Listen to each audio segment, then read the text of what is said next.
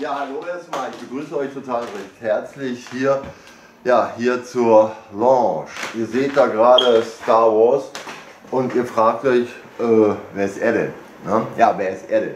Ja, ich bin erstmal ABA Movie, Film- und Fotoproduktion und ich feiere, ich feiere heute äh, zehn Jahre.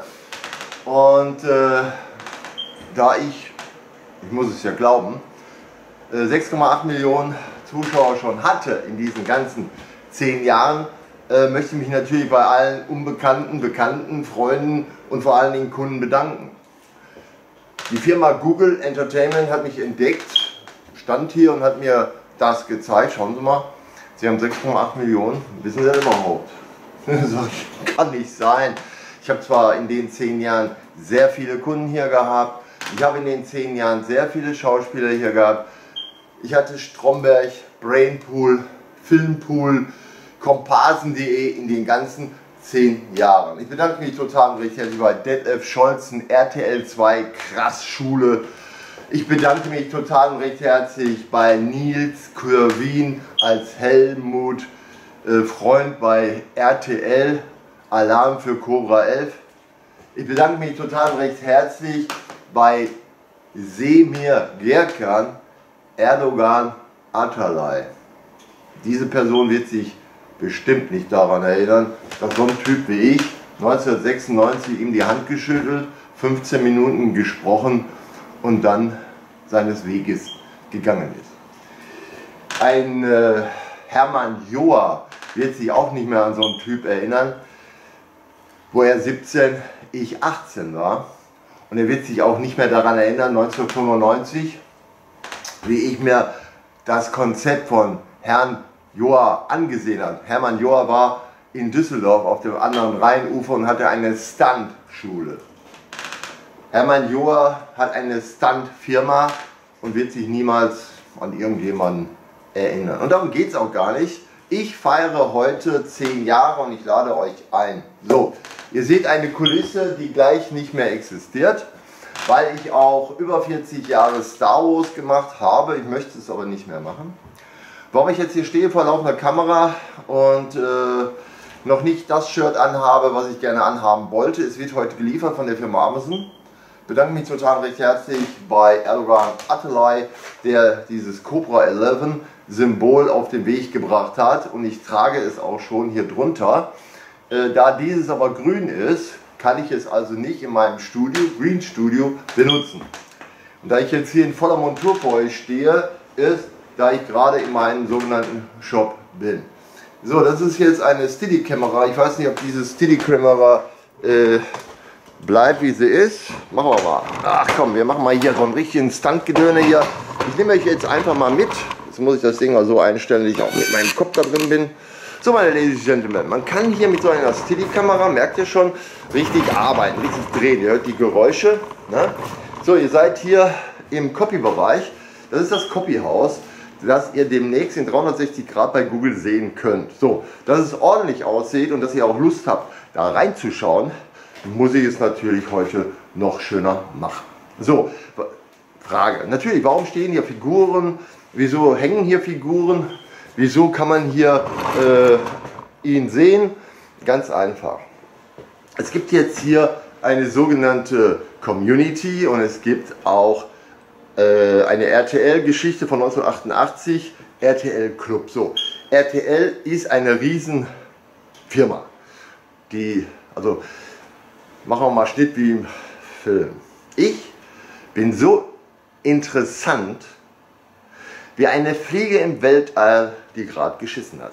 So interessant bin ich. So, um so interessant zu werden wie Erdogan, meine lieben Freunde, da müsst ihr was tun. Wow, ne, ich müsste in die Öffentlichkeit, was weiß ich nicht alles.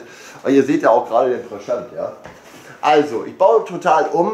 Demnächst könnt ihr das Ganze in 360 Grad erleben und dann könnt ihr hier, ja, könnt ihr Fragen stellen, alles. Also, hier gibt es mehrere Clubs, ja. Einmal den RTL Club, ist klar, da bleiben wir auch, seit 1988. Und natürlich den Erdogan Club und den Nils Club, also den Alarm für Cobra Club wo die beiden Hauptakteure Nils Kerwin und Erdogan Atalay äh, da an sich. Ihr seht da auch meinen Spruch, bin wirklich ausgebildeter Videojournalist, bin auch wirklich ausgebildeter Filmemacher. Aber unter uns, wenn ich irgendwie anrück, mit meinem uralten Auto mein Equipment da raushole äh, und aufbaue und arbeite, unterm Strich, wenn ich Glück habe, habe ich da ein paar Dollars. Und diese paar Dollars möchte auch das Finanzamt haben. So einfach ist das. Ähm, nicht nur das, man angefeindet wird von anderen Firmen. Mir ist nämlich etwas aufgefallen, deswegen habe ich heute mal die laufende Kamera genutzt, weil ich ja wie gesagt zehn Jahre feiere. Ich feiere zehn Jahre und baue jetzt alles um. So, ihr seid jetzt hier bei mir total recht herzlich willkommen, wie jeden Tag ihr bei mir total recht herzlich willkommen seid. Ich bin ja für euch da. Ja, so, was wollte ich gesagt haben? Ich möchte gesagt haben, dass wir verarscht werden, alle. Ich habe sehr viele Firmenkollegen, denen es genauso geht. Ja, denen geht es genauso. Da wird behauptet, du hast nicht bezahlt. Irgendeine Firma, also man arbeitet ja mit Firmen. Ich arbeite mit Kopierfirmen. So, die Kopierfirma behauptet, du hast nicht bezahlt. November mal, dann, dann zeigt man das. Ach ja, dann Dezember. Wie ach? Ja, dann, ach, weißt du was? Januar, wann denn nur? Ne? Ach, weißt du was? Februar. Und im Februar nagel ich dich jetzt fest, gehe ich zum Gericht und lass dir jetzt das Geld pfändeln. Bam. Ja, ich hatte gestern einen, der hat auch einen Weihnachtsmarkt. Ja? Weil viele Sachen müssen im Januar oder im Juni bezahlt werden für den Weihnachtsmarkt, wenn man da sowas hat. So. Also, ich hatte da ein, eine Firma, die mit Tannenbäumen arbeitet. Der hat alles bezahlt. Ja? Wir kopieren das ja. Wir kopieren das ja und weisen es nach. Ja? Aber die Firma, nö, sie haben nicht pünktlich bezahlt, haben erstmal das Geld einkassiert, behaupten, dass sie äh, dass man nicht bezahlt hat und dann will man einen anderen im Platz, also doppelt vermieten. Versteht ihr, was ich meine? So ist das beim anderen auch passiert. Komm, kannst du dir vorstellen, die behaupten. Ne? So, ich als Videojournalist bin ja mal auf Recherche gegangen, weil es mir ja auch passiert ist. Und habe festgestellt, man will versuchen, so die Kleinen rauszukegeln. Ja? Ja, wie gesagt, ich feiere gerade hier 10 Jahre vor Ort und ich feiere 40 Jahre insgesamt. Ja? Und dann will man so ein, ja, will man weghauen. Ne? Was Neues, den man verarschen kann. Einer, der 10 Jahre äh, in ist und seit 40 Jahren das kann, den kann man nicht mehr verarschen. Ja? Der geht vor laufender Kamera und sagt der Öffentlichkeit, meine lieben Freunde, hört doch mal auf mit dem ganzen Scheiß. Ja? Aber ihr macht ja den ganzen Scheiß. Wenn ihr unbedingt 2030 genauso erleben möchtet wie 1930, fragt doch mal die Hinterbliebenen. Fragt doch mal die, die 1920, 1927 geboren sind und vielleicht noch da sind, ob das sehenswert, erlebenswert wäre, 2030 genauso zu erleben wie 1930 mit Missgunst und was weiß ich Das ist ein Spruch an die Jugend. Ihr macht da einen auf Zwang. Meine lieben Freunde in Deutschland, in diesem Deutschland, 16 Bundesländer, 2061 Städte, gibt es keinen Zwang, um das mal klarzustellen. Wenn ihr klein, hinter Klein Greta herrennt, ja, wie hinter dem Rattenfänger von Hameln, dann seid ihr natürlich selber schuld. Tut es, macht es. Aber jammert uns nicht die Ohren voll, wenn es euch nachher richtig dreckig geht. Hm? Okay, wir haben noch nicht 2030, wir haben 2020 vor der Tür und wir schreiben noch das Jahr 2019. Und meiner einer ist Filmemacher, meiner einer ist Videojournalist und meiner einer macht hier Copyhaus, Medienhaus. Und dann in einer Provence, die sich Frohnhausen nennt, an der A40. Mhm. Ach, wisst ihr, ihr könnt googeln. Gebt alles ein bei Google. Geht auf 360 Grad Google. Schaut es euch an. Ich bin sehr gerne für euch da. Ich helfe euch auch sehr gerne. Aber was ich so alles erlebe, schade. Ich möchte wirklich hier mal eine super Kamera, eine 6K oder 8K Kamera installieren und weltweit live online schalten. Gestern kam hier einer rein mit Linsen, ja, Horrorlinsen und schrie dem Kunden an, ey, hast du mal Geld? Ich brauche Geld. So. Dann hat sie mich entdeckt, ey, ich brauche mal Geld. Also, tut mir leid, ich habe mein Geld äh, als Final... Äh, ey, du hast doch auch Privatgeld oder was? Gib mir mal Geld. Ne? So. Und das muss sie wohl sehr oft gemacht haben, weil ein Kollege, der nebenan auch ein Fachgeschäft hat, rannte hinterher weil ich nachher, also ich hätte nachher mit ihm gesprochen, so, was ist denn los? Wir Geschäftsleute stehen noch da drüber, oder? Er sagte, nee, meine Mutter, die im Laden steht, wurde von der da angegriffen, das fand er nicht so toll. Ja, ist halt so, wir leben in einer merkwürdigen Zeit, hm, sagen wir mal, Deutschland ist auch eine merkwürdig, ist ein merkwürdiges Deutschland Und jeder glaubt da, was er glaubt. Und komischerweise keiner fragt nach, hä, 16 Bundesländer? Hä? 2061 Städte? Was geht denn eigentlich hier ab? Keiner hinterfragt den Apparat. Keiner hinterfragt, dass ein Politiker 10.500 Euro bekommt, keine Steuern zahlen muss, nichts. Alles geschenkt bekommt, dass er sogar fliegen kann wie ein Weltmeister. Nur du, du sollst nicht. Ja. So, Thomas Cook ist abgeschmiert. Keiner kriegt Geld, keiner kriegt dies, keiner kriegt das und all solche Sachen. Äh, meine lieben Freunde, ich will jetzt nicht ausschreiten, aber wisst ihr, zehn Jahre äh, in einem Kopier- und Medienhaus, wo wie gesagt Praschant erscheint oder erschienen ist, wie äh, Atulai erschienen ist, diverse andere erschienen sind. Ja? Wenn man über 40 Jahre selber bei den Medien und wenn man über 60 Jahre dabei war, auch als Baby in einem Kinderwagen bei E605 Stahlnetz und wenn man solchen Herrschaften mal die Hand geschüttelt, dann muss man nicht sagen, ey, jetzt bist du mein Freund oder so. Natürlich nicht.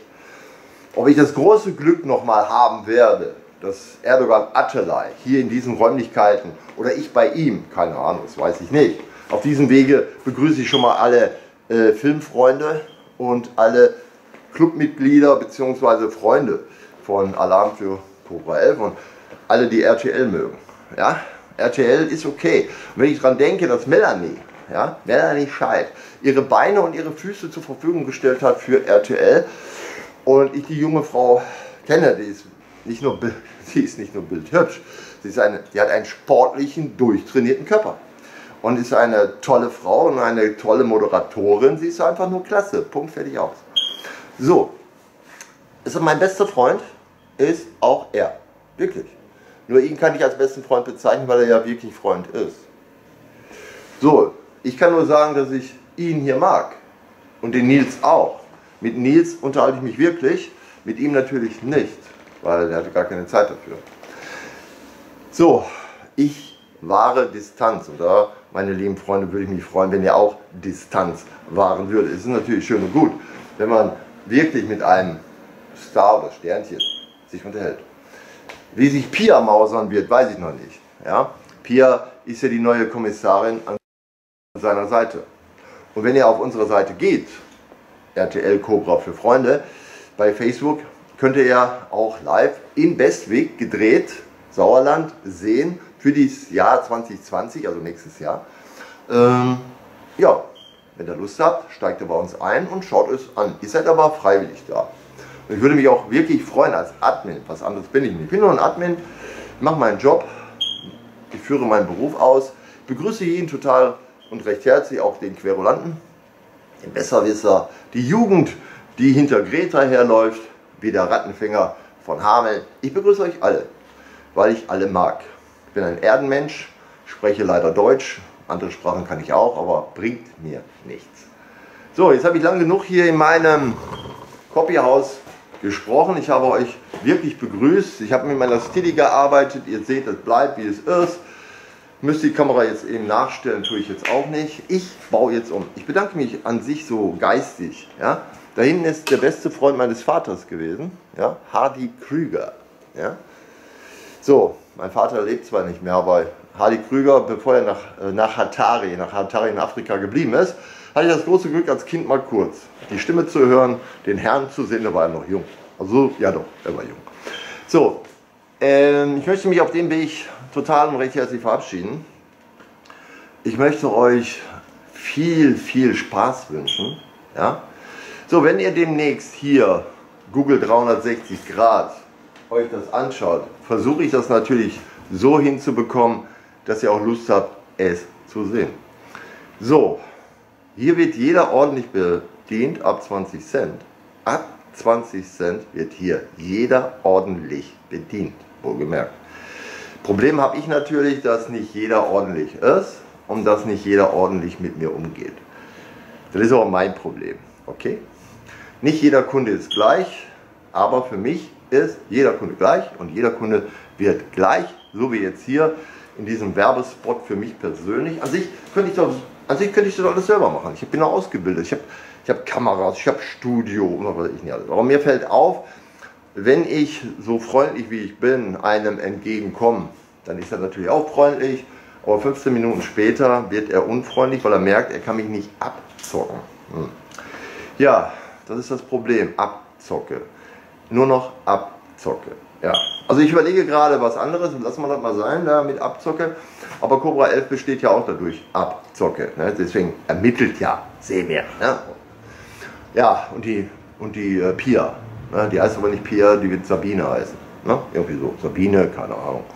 Lass uns mal überraschen. Passt zu ihr. Blond, braune Augen, Sabine. Ne? Äh, Sabine, da läuft der. Und sie rennen hinterher. Also wie gesagt, im Westweg auf der Autobahn-Teilstrecke im Sauerland, Hochsauerland, drehen die gerade. 10.10. .10. Heute ist der 12.10. Ob sie heute noch drehen, weiß ich nicht. Aber jedenfalls haben sie 10.10., 11.10. gedreht. Und ich habe da irgendwie gehört, dass er einen neuen Wagen hat oder so. Glaube ich aber nicht, dass er einen neuen Wagen hat. Ich meine, bei 7000 Euro, bei 7000 Autos, bei 500 Liter Kunstblut, weiß man schon gar nicht mehr, welches Auto da überhaupt noch fährt. Ist klar. So, also ich habe euch jetzt lang genug hier unterhalten. Ich gehöre nur zur Entertainment.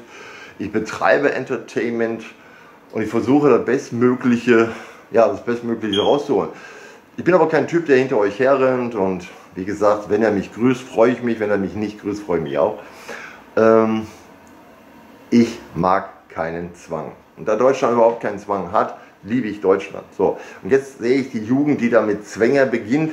Meine lieben Jugendliche, wenn ihr irgendeine Tür verstellt und da möchte einer durch, dann macht der Platz. Ist das okay?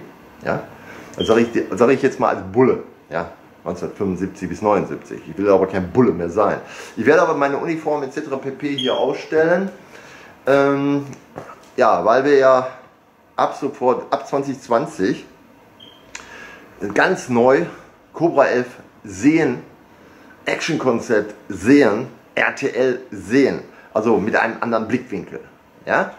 Ich nehme die Kamera und nehme einen ganz anderen Blickwinkel. Ne? Ja.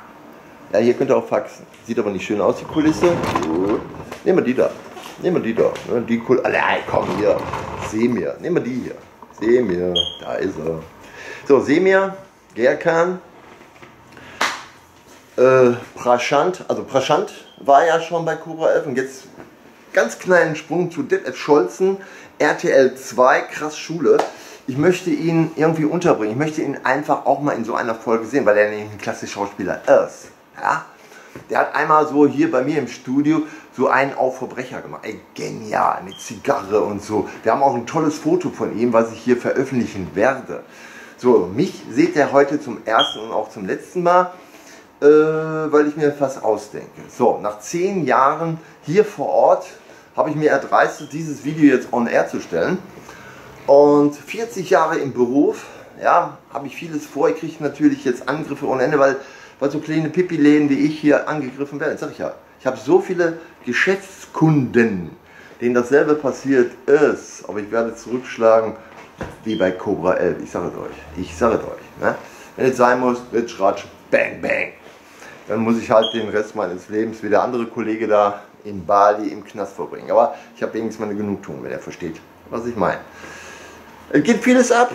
Ja, also gewöhnt euch schon mal dran, dass das hier nicht mehr zu sehen sein wird.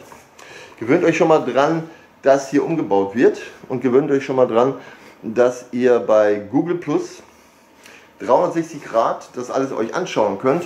Und ich arbeite jetzt daran, dass das schön wird. Natürlich sollt ihr euch wohlfühlen. Ihr sollt euch auch hier in den PC-Straßen wohlfühlen. Ihr könnt hier natürlich ins Netz. Das ist aber kein Internetcafé. Das ist ein Medienkopierhaus. Ja? Wir machen solche Sachen. Wir helfen Newcomern, wir helfen Schülern, also ne, Medienschülern, ne? Schauspielschülern. Moloch zum Beispiel, Melanie Scheid zum Beispiel, ja? Detlef Scholzen, Praschant und so weiter und so fort. So, ich sage jetzt Welcome to the Studio, Welcome to New York, Welcome, Welcome. Ich gehe mal auf die Seite hier. Das ist das Schöne an so einer Steadicam. Man kann da so richtig, wow, ne, richtig Gas geben. Ne? Man kann so richtig, und das Ding bleibt immer sauber. okay, ihr merkt, ich gehöre nun mal dazu. Meine lieben Freunde, ich mache das, guck mal, Stahlnetz damals 6E605, könnt ihr reingucken und seht ihr, also ihr seht meine Mutter und einen Kinderwagen, in dem Kinderwagen war ich. Und nachher seht ihr meine Schwester und meinen Bruder, da fährt er, da fährt er. E605, ein schwarzer, ein schwarzer, ein schwarzer Mercedes mit weißem Dach, da, da, da. Das war noch, ach man, ich weiß gar nicht, in den 50er Jahren, ne? Stahlnetz. Und so und danach Tatort mit, mit Herrn Telmi. Ja, hier, Tatort, da saß ich da in einer Straßenbahn. Ja, wow, Wahnsinn. Und dann die Kollegen, echte Kollegen. Echte Polizeikollegen im Anschlag wegen Bader-Meinhof und so weiter und so fort. Wow, wow, wow. Ne? Also war schon eine tolle Sache. Und dann habe ich mal so ein bisschen geschmunzelt und so, ist klar. Man darf ja im Film nicht auffallen. Ne? Also da war ich noch ziemlich jung, also deswegen werdet ihr mich nicht erkennen. Ist auch nicht so schlimm. So, meine lieben Freunde. I go. Ich baue um hier. Ne? Aus Star Wars wird jetzt Cobra 11. Star Wars mit Disney Plus, hm, müsst ihr selbst entscheiden, okay? So, ihr seid jetzt hier total recht herzlich willkommen im äh, Medien- und Copyhaus an der A40. Zweimal abbiegen seid ihr hier und demnächst 360 Grad Google. Wir sind jetzt Google Entertainment, wir sind RTL Entertainment und äh, ja, ich oute mich jetzt. Ich will hoffen, dass ab 2020 hier mehr los ist, also ordentlich los ist und wir diese sogenannten Feinde eliminieren können oder beruhigen können oder mal drüber nachdenken. Meine lieben Feinde, denkt mal drüber nach, ob es sich lohnt, ein Feind zu sein. Hm? Okay, so ich mache mich jetzt weg hier, ich baue jetzt um und wenn ich Lust haben sollte, mache ich nochmal so einen Take hier und dann zeige ich euch den Umbau. Ob ich das mache, weiß ich nicht, werdet ihr merken. Okay.